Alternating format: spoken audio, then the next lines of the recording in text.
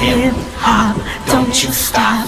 I'm just telling you, I'm in love with electronica. Oh yeah. Oh yeah.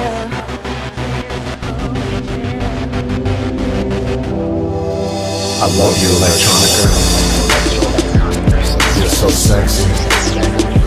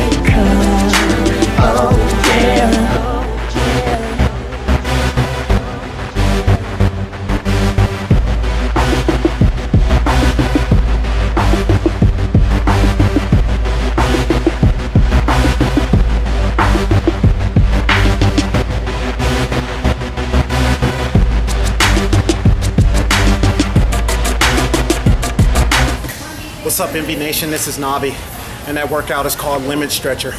Man, that was a tough workout. We started out doing five sets of 20 on the reverse grip pull downs. The key with the reverse grip pull downs is you want to make sure that you pull it down and you slightly hold it at the bottom before going back up to the top. Next, we did five sets of 20 of the Smith machine squats. And then lastly, we finished off with one mile in under eight minutes. NV Nation, that's an intense workout.